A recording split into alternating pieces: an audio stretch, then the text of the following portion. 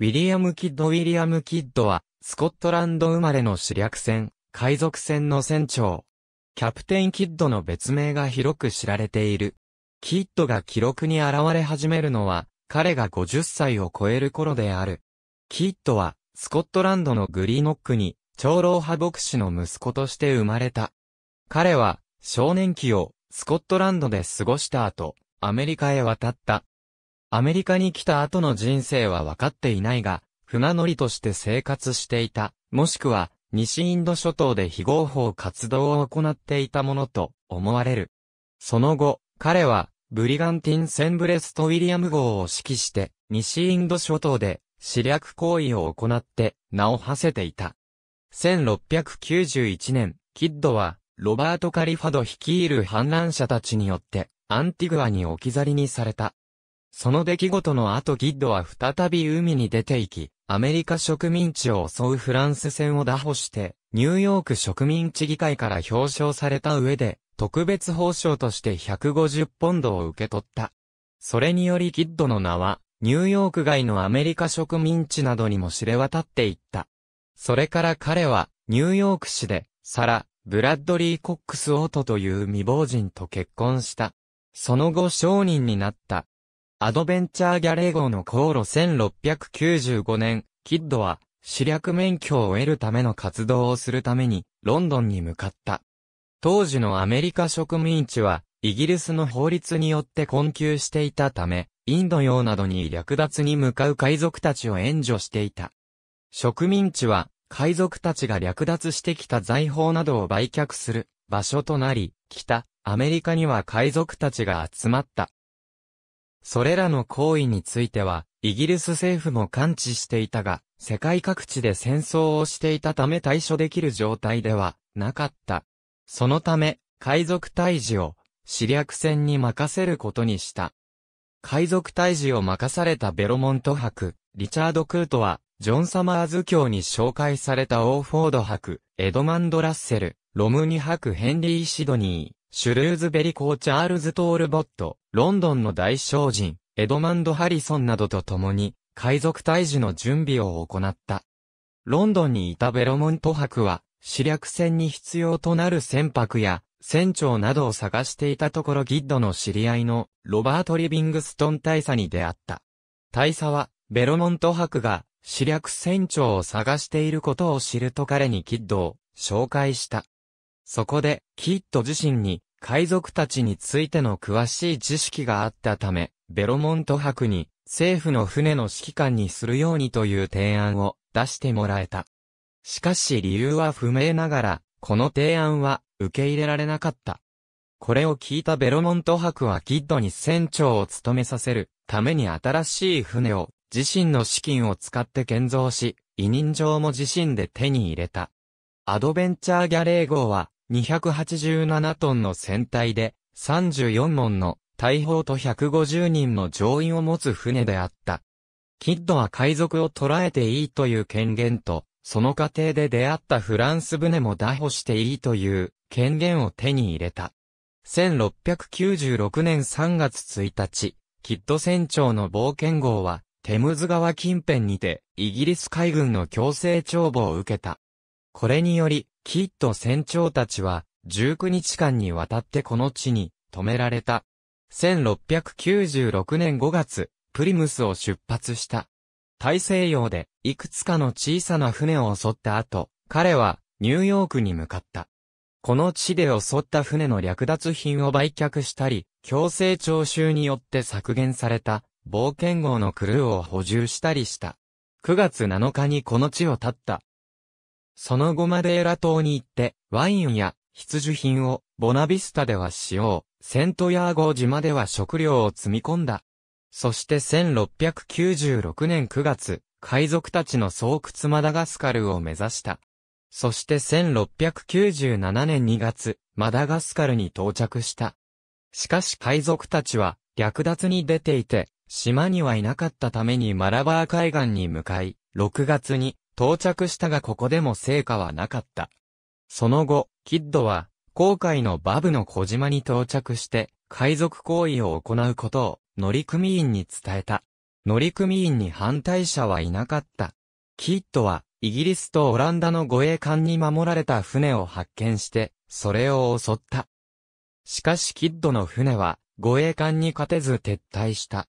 その後海賊家業を続けることにしたキッドは、マラバー海岸に行き小型船を襲ったがこの船は、財宝を積んでいなかったため、コーヒーと胡椒を略奪した後に船を解放した。キッドは、ウィリアムマという船員との間で口論となり、鉄で補強されたバケツでムアを殴りつけて殺害した。この事件を機に、キッドは本格的に海賊行為を行っていくことになる。1698年2月、キッドは総額71万ポンドの財宝を積んだケダーマーチャント号を発見し、略奪した。キッドはフランス国旗を上げて接近した。キッドはアドベンチャーギャレー号とケダーマーチャント号を率いて、サントマリー島に到達する。この地で彼はかつてキッドの下で副船長として働いていたが、船を盗み海賊として活動している、ロバート・カリファドと彼が略奪したモカ号に出会う。そこで彼らは、ボンブー酒を飲み交わし、互いに物品を贈り合った本来海賊退治のために、派遣されたキッドはこの地で海賊を助けてしまった。しかし、キッド船長自身はこの話を否定している。彼によれば、彼は、セントメアリ島到着時にカリファド一味を発見したので、海賊退治のために、彼らを拘束することを決めた。キッドは乗員に船を捕らえるように指令を出したが、クルーたちは、その命令を聞かなかった。そこで、キッド船長は、乗組員たちにケダーマーチャント号の略奪品を分け与えた。しかし配当金を得た乗員のほとんどが謀反を起こし、カリファドに合流してしまった。そして、18人の船員しかキッドの元に残らなかった。キッドは、喜望峰を回るための風を5ヶ月間待った。損壊していた、アドベンチャーギャレー号を破棄し、ケダーマーチャント号に乗り換えカリブ海に向かった。西インド諸島のアングイラ島で自分が東インドの疫病神と言われていることを知ったキッドはベロモントの手を借りようとした。彼はベロモントに連絡が取れるまでセントトマス島の宿屋に泊まろうとしたが、お尋ね者であることを理由に宿泊を拒否された。エスパニョラ島の南東部の海岸にある川で、ケダーマーチャント号を破棄した。船体が大きすぎて目立ってしまうからだった。その代わり財宝の一部は、スループ船に移され、残りはキッドが安全な状況になるまで見張りを立てておかれた。国王は、希望本東部から、ソコトラ島、コウモリン岬までの海域で行われた海賊行為に対しては、1699年4月末までに、自首すればどんな罪であろうとその罪を免除するという布告を出した。ただし、キッドとエイブリーだけは例外だった。ロングアイランドに到着したキッドは、ベロモントに会うためボストンに行った。ボストンに着いたキッドは、ベロモントに裏切られ逮捕された。1700年4月、キッドはイギリスに連行された、クエダマーチャント号に対して、フランス政府が発行した航行許可書。キッドの裁判中に提出されることはなかったが、事件の2世紀後に、ロンドンの公文書館で発見された。一年後ホイッグと敵対する政治家がキッドを議会下院に召喚し、ホイッグに対して不利な証言を引き出そうとしたが、成功しなかった。1700年5月、ムーア殺害と海賊行為の罪で裁判が始まった。キッドは、ムーア殺害は計画的なものではなく、ムーア自身が反乱の姿勢を見せていたため殺害は仕方がなかったとして、無罪を主張し、ケダーマーチャント号はフランス戦であり、海賊行為ではないとして、こちらの罪でも無罪を主張した。しかし、主張が認められることはなく、どちらの罪でも有罪が言い渡された。ケダーマーチャント号がフランス戦であることを示す通行書が存在したが、キッドの裁判時には紛失していた。ただし、キッドは、ケダーマーチャント号以外にも、略奪行為を働いており、通行書の有無は裁判結果に影響しなかったで、あろうと考えられている。最終的に、彼は5つの海賊行為と殺人の罪で死刑となった。縛り首になったキッド船長、海賊自身の書よりその遺体はタールを塗られ、チリジリにならないように鉄の輪をはめられた上で鉄の檻に入れられた。海賊を志す者に対する警告としてテムズ川の公主台に数年間放置された。死後、彼を称えるバラッドが多数制作され、その一部は動画投稿サイト YouTube で視聴可能である。一般には、キッドは貴族らスポンサーを騙して、出資を募り、それを元手に、海賊行為を行っていたとされる。だが、ミュージアム・オブ・ロンドン・ドッグランズで開催されている、海賊キャプテン・キッド物語では、キッドは富裕層の対立に巻き込まれたという見方を示している。それによれば、キッドの怪しい事業は、スポンサーの意思によるもので、それによって利益を脅かされると考えた東インド会社が裏で、糸を引いて、キッドを犯罪者に仕立て上げたという。実際、キッドの裁判では、彼の無実を示す証拠が紛失し、有利な証拠の提出が禁じられていた。キッドは、逮捕される前にガーディナー島に財宝を埋蔵した。